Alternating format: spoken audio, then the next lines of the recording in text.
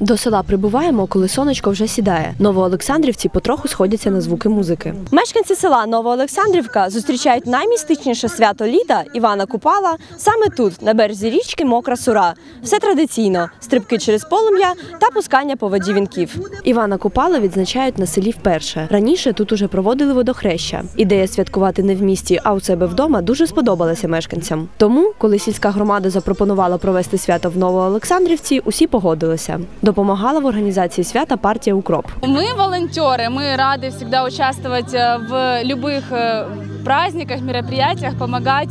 Сьогодні приходить свято Івана Купала, і я е, волонтер, і також наша група е, приймає участь у цьому святі.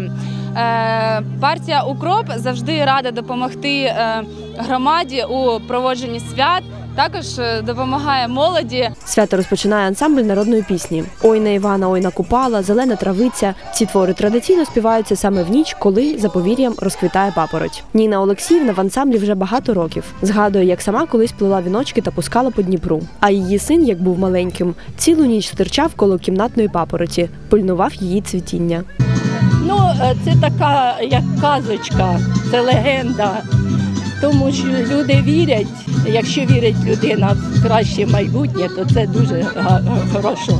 Вірю, що наша Україна стане незалежною, стане сильною, могутньому, і в ній будуть люди щасливі і багаті. Багаті як духовно, так і матеріально.